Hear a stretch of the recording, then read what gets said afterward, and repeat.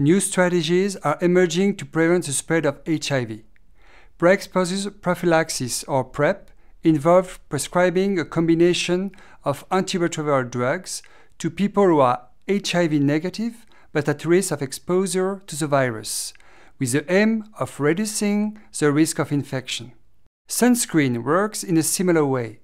If we know that we will be exposed to the sun for a long time, we apply creams and lotion to protect our skin and avoid sunburn. Two types of PrEP are available to reduce the risk of HIV infection among HIV negative people at high risk. Continuous PrEP, consisting of a regular dose of antiretrovirals each day. Intermittent PrEP, consisting of a dose of antiretrovirals taken before each high risk sexual activity. The Ipergay study, currently underway in France and Quebec, is testing the effectiveness of this on-demand PrEP. Who should have PrEP treatment? For certain people who are at high risk of HIV infection, PrEP can be effective as an additional means of protecting themselves. However, this is not the case for everyone.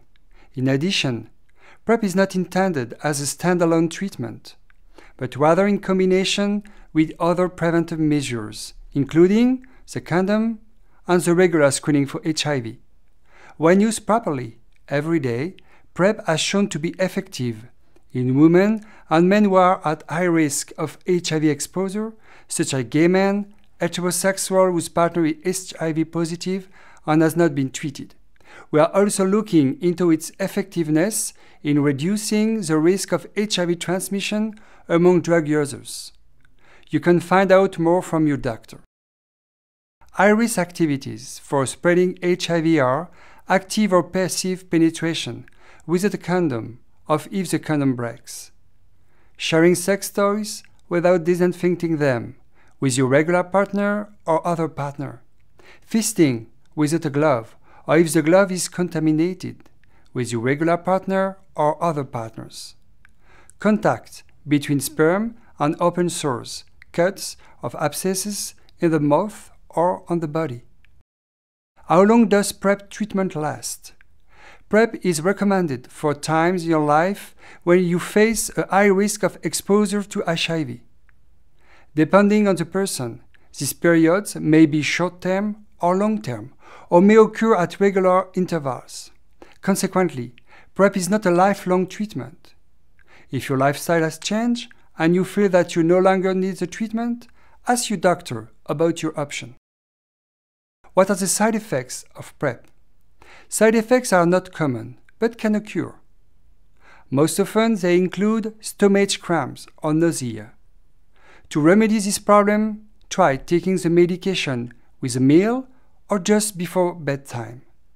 In any case, it's important to discuss side effects with your doctor, who can help alleviate or even eliminate them. We do not yet know the long-term effect of this treatment, especially on the kidneys and on the bones. For this reason, regular follow-up with your doctor is essential.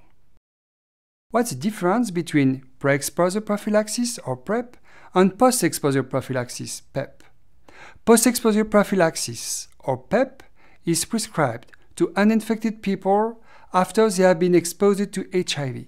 Research indicates that beginning PEP treatment within three days after exposure to HIV can reduce the risk of infection. As for pre-exposure prophylaxis or PrEP, treatment involves taking medication normally prescribed to HIV positive people in order to concentrate it in your body. With the right concentration, the medication can reduce the risk of HIV infection. If you believe that you are a good candidate for PrEP, never try it on your own. For information and guidance, talk to your doctor.